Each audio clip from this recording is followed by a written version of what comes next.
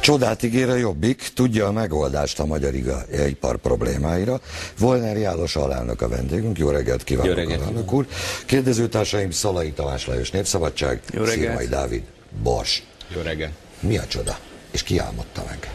Csodát én nem olvastam a saját közleményembe, tehát hogyha ön arra gondol, hogy valamilyen csoda lesz, akkor ki kell, hogy ábrándítsam. Munkával, szívós, következetes, szakszerű munkával lehet elérni az eredményeket, nem pedig csodákra kell várni.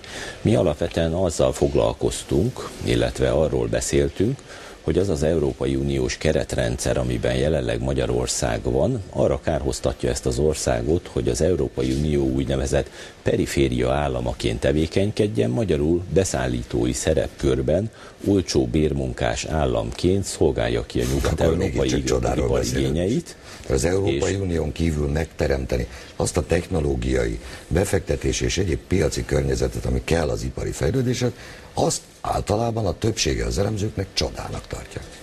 Óbesoszki úr, akkor ön le van maradva néhány brossúrában. Hát, hát nézze meg az ipari növekedés adatait mondjuk Törökországban, vagy a világ fejlett egyéb részein. Azt láthatjuk, hogy az Európai Unió jelenleg a világ leglassabb gazdasági növekedés produkáló övezete, tehát hogyha a magyar ipar részére szeretnénk célpiacokat teremteni, technológiai partnerekre szertenni, jól látható az elmúlt 22 év politikájából, hogy az Európai Unió nem hozta el az elvárt felzárkózást tehát vagyok. felé kell kereskélni. Alelnök úr, híresen török barát vagyok, nálam otthon török mosogatógép van. Tudja, kivel gyártják együtt? A Bossal. Igen, előfordulhat. Ami Európai Unió. Előfordulhat, de önmagában azt kell látni, Obersoszki úr, hogy miközben egyébként Európa gyakorlatilag ilyen fél százalék körüli recesszióba van, jelenleg az egész Európai Uniót tekintve, a közben azért Törökország az elmúlt években nagyon impresszív 7-8 százalékos gazdasági növekedést tudott produkálni. Nyilvánvalóan nem azért, mert a bossal gyártanak csak együtt, hanem azért, mert van saját ipari kapacitásuk. Mi egyébként arról beszéltünk, hogy ha Magyarországon meg akarjuk teremteni a fenntarthatóan növekedő jólét alapjait, akkor arra van szükség, hogy Magyarországon ismét innovatív termelést legyen, mert gondoljanak bele, nem régebben az országban még buszokat, hajókat, vonatokat, orvosi műszereket, nagyon sok mindent képesek voltak magyar emberek megtervezni és legyártani, nyugati cégek közreműködése nélkül is. Ez nem csoda, ez egy reális út, amit mi fölvázoltunk. Képviselő, ha már csoda szóba került, nemrégiben jelent meg a heteknek egy cikke arról, hogy állítólag Száva István képviselőtársának van egy belső munkaanyaga, ami a Jobbik elnöksége vezetősége asztalára került. Ebben többek között állítólag arról ír, hogy a Jobbik rosszabbul áll a határon túli magyarok körében, mint azt önök gondolnák, vagy más gondolná.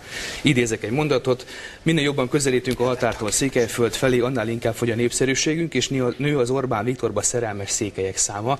Mondjuk most ezt a minősítést, ezt most nem is én nem minősíteném, de segítsen nekem a, a Jobbik, hogyan méri fel a saját erejét határon túl.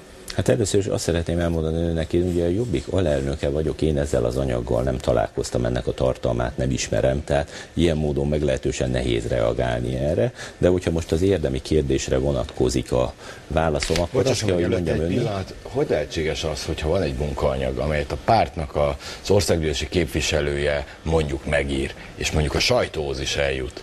És a párt alelnöke önmondta, Lehet, hogy kihagyják önt a stratégia alkotásból? Én, én, én, azt gondolom, hogy, én azt gondolom, hogy meg, megjelent már jó néhány olyan munkaanyag, ami ö, már elnézést a kifejezését, de tömény marhaságnak bizonyult, és Ez azért sehol nem jelent meg, csak nem mondjuk baloldali jobbiknak. újságok hasábjain, és más fajsúlyos kérdésekben is állítottak már zöldségeket, tehát én most ebben nem mennék bele, de ami a kérdésnek az érdemi részét illeti, hiszen ez szerintem az izgalmasabb. én, én úgy gondolom, hogy a határon túli magyarság köreiben a jobbik jól áll, azt nem gondolom, hogy elsőprő a fölénye, illetve hogy annyira jól állna, hogy mondjuk a legerősebb pártjának lehet tekinteni mondjuk Erdélynek, de alapvetően én azt gondolom, hogy akik nemzetpolitikában gondolkodnak a határon túl, ott kifejezetten. Az ön szerint segít, hogy, hogyha azt mondják, hogy aki szóba áll Viktor Pontával, az hazaáruló, miközben Viktor Pontam, ugye legutóbb most szombaton azt mondta a színpadon, hogy minden kisebbségnek a jogait tiszteletben kell tartani. Alapvetően, alapvetően azt látjuk, hogy akkor, amikor mondjuk visszagondolunk arra, hogy Megyesi Péter Erdély elcsatolásának évfordulóján meghívta a román miniszterelnököt, leült vele kvaterkázni, ugyanolyan ö, szembeköpése a magyar nemzeti ügyeknek, mint amikor egy egyébként magyar gyűlöletéről elhíresült román politikust meghívnak jelenleg az MSZP kongresszusára díszvendégként, és aztán előadják azt a színjátékot, hogy ők európai módon gondolkodnak, képesek túllépni a nemzetiségi ellentéteken, miközben egyébként az erdélyi magyarokat ez az ember, Viktor Ponta, minden lehetséges eszközzel sanyargatja a székely autonómia törekvések a... egyik legelszántabb ellensége, a Magyar Orvosi Egyetemen történő képzésnek a nagy ellensége, gyakorlatilag mindenhol írtja, vágja a magyarság ügyét. Ebben Tehát ezt ki kell mondani, és igen, azt hazárulásnak tartjuk, hogyha valaki ezzel az emberrel leül, és díszvendégként képes őt fogadni. Rendben, az önvéleményére vagyok kíváncsi, annak kapcsán, ami ebben a munkaanyagban előfordul, például Erdélyben, az RMDS-szel való viszonyról is ír ez a tanulmány, amelyben az áll, hogy tetszik vagy nem tetszik, nekünk az RMDS-szel valami fokú kapcsolatot ki kell alakítanunk, mert ők a legerősebbek Erdélyben. Azért ez a jobbik szavazóbázisában nem biztos, hogy pozitív felhangokra Szépen talál. Úr, még, és még, még egyszer mondom, nem, nem tudom erről a munkaanyagról, hogy véleményére vagyok kiírta. kíváncsi. Az RMDS-szel milyen együttműködést nézze, én, én magam gazdaságpolitikus vagyok, tehát én határon túli magyarság ügyeivel kapcsolatban nem szoktam megnyilatkozni, ha eddig is De véleménye van akkor, erről a kérdésről?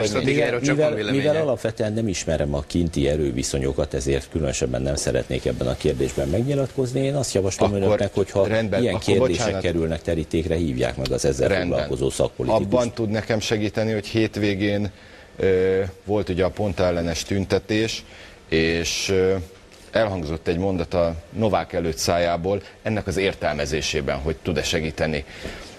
Remélem, hogy a rend Héber őreinek nem kell Tel Avivba telefonálniuk. Én ezt nem értettem, ezt a mondatot. Tud ebben segíteni, hogy ez mit jelent? Igen, tehát azt látjuk, hogy alapvetően hol az amerikai Egyesült Államokat, hol Brüsszelt, hol pedig Tel Avivot tekintik amolyan igazodási pontként egyes magyar politikusok. Erre utalt Novák előtt nyilvánvalóan. Ez egy diplomáciai gondolat, nem zsidózás, ugye?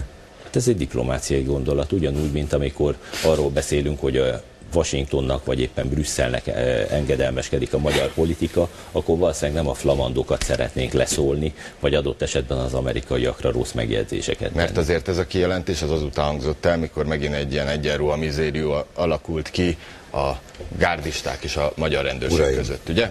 Uraim, elfogyott az idő, visszavárjuk uh, Volner urat. Kollégáimnak köszönöm a kérdéseket. Köszönöm szépen.